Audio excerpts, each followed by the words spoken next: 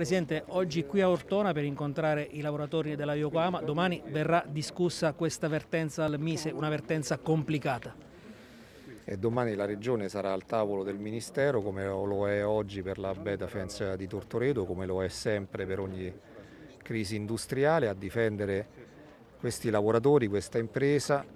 e a difendere soprattutto il diritto di mantenere qui questa produzione, di non far uscire le macchine come ci chiedono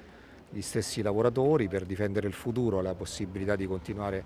a sviluppare questa industria su questo territorio. 84 lavoratori che rischiano di perdere questo posto di lavoro con la multinazionale giapponese che sta ehm, chiudendo tutte le fabbriche fuori dal Giappone.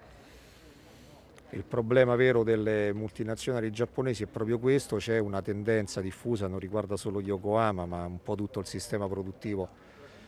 nipponico di abbandonare l'Europa, in particolare l'Europa occidentale e concentrare le produzioni altrove.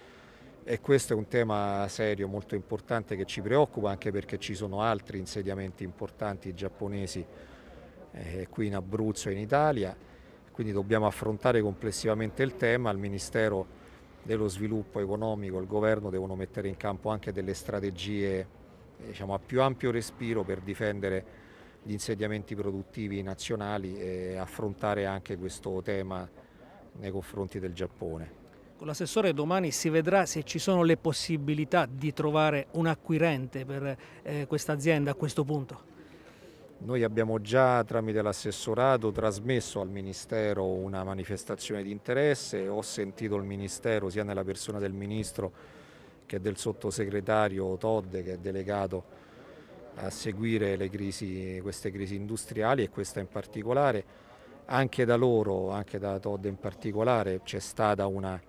apertura rispetto a questa possibilità che sta sondando sul mercato. Noi eh, speriamo e lavoriamo perché questa prospettiva, questa ipotesi si concretizzi, prenda corpo e sperando appunto che la Yokohama non voglia invece puntare come spesso fanno queste realtà alla desertificazione, alla distruzione di una competenza che poi perché, per evitare di avere domani un concorrente sullo stesso segmento di mercato.